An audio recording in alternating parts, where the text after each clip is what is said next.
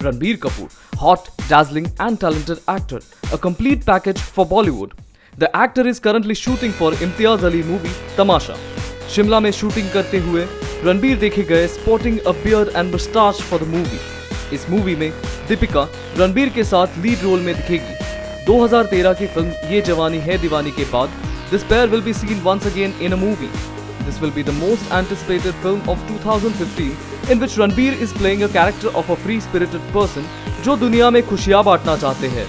और दीपिका इसमें एक adventurous and fun loving girl दिखाई गई है We are pretty sure that this Imtiaz Ali movie will rock on the screen.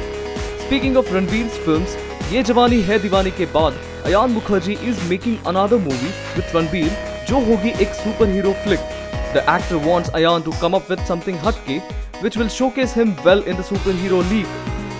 और जिसके लिए रणबीर ने उनको बोला है कि he can take as much time as he wants to complete the perfect script. ये मूवी में आलिया भट्ट भी लीड रोल में नज़र आएँगी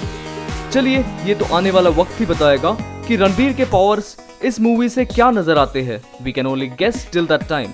Bollywood की ऐसी सुपर डुपर खबरों के लिए आप देखते रहिए गॉसिप गुरु